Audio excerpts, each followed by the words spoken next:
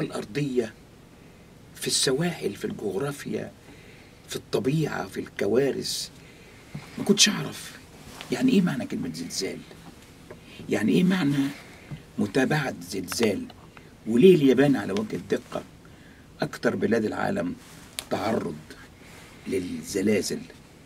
وكنت أنا باستمرار وأنا قاعد لوحدي أكتب بخط إيدي كده مفيد فوزي من برلين. اشمعنى برلين؟ ولا كنت أفهم يعني إيه؟ أعرف إنها عاصمة ألمانيا. يعني بدأ ي- يعني يميل عند حضرتك فكرة ال- العمل الصحفي والعمل التلفزيوني. واضح واضح لأنه بتشوف نفسك مراسل صحفي. حسيت كده وكنت فعلا أتمنى ان أنا اكون زي حسنين هيكل. ده كان النموذج الأعظم في العمر وهو أيقونة النجاح في نظري. ان أنا تحصل مشكلة في بلد أسافر لها. يحصل زلزال في اليابان أطير إلى طوكيو.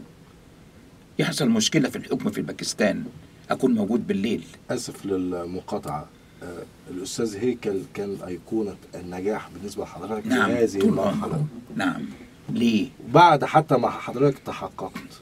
لا. وشفت العمل الصحفي قبل كده ما كنتش تحققت. ما بقول لحضرتك بعد ما تحققت. لا هل أنا استمرت النظرة دي للأستاذ هيكل؟ أمال. أمال لأن أنا قريت كتاب ليه في التوجيهية من سور الازبكيه اشتريته بقرشين ساغ اسمه إيران فوق بركان. آه طبعا. قريته عشر مرات. آه طبعا. ده مهد للمسرح كله. شيء آه خرافي. طبعاً، آه طبعاً. في عمري.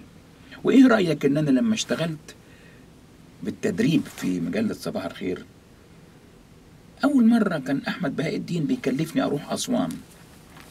وأعمل موضوع عن السد العالي اللي كان عمره في ذلك الوقت سنتين. فكتبت مقدمة عظيمة لكن الأستاذ بهاء نداه لي وقال لي كل ده هتشطبه بإيدك. أنا مش هشطبه لك